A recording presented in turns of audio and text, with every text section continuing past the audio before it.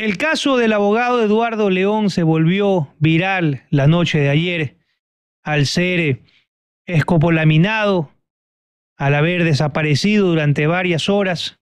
Se activaron periodistas, se activaron las autoridades, desde el Ministerio del Interior, Fiscalía.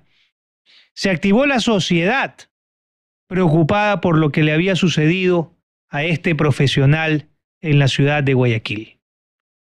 Pero es importante, más allá de la anécdota que ahora se ha tornado también un poco cómica, con algunos memes y con algunos videos, hay que recordar de que este hecho se da en la 9 de octubre, la principal avenida de la ciudad de Guayaquil, y afuera del Hotel Oro Verde, hotel de cinco estrellas, muy representativo de la ciudad que se lleven a un profesional escopolaminado, con peligro en su vida, en su integridad, es algo que debería escandalizarnos terriblemente por dónde ocurrió el hecho. Guayaquil está destruida.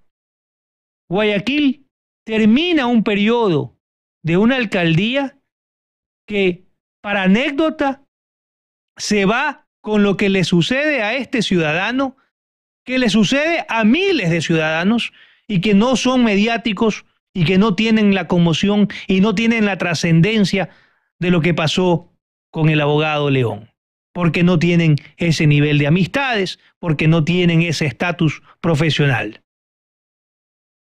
Dios, hay que agradecer que afortunadamente se encontró al abogado que se está recuperando.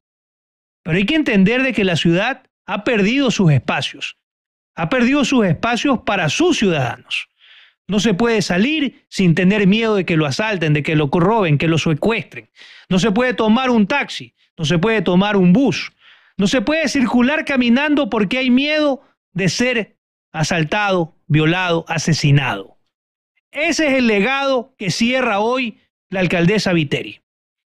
Y es el reto para Aquiles Álvarez de superarlo y obviamente necesitará el respaldo del Ejecutivo para este caso importantísimo de inseguridad que vive la ciudad de Guayaquil. No es un evento menor lo que pasa a diario en nuestra ciudad. No son circunstancias normales las que vivimos. La ciudad queda destrozada en lo físico y también queda muy golpeada en lo anímico.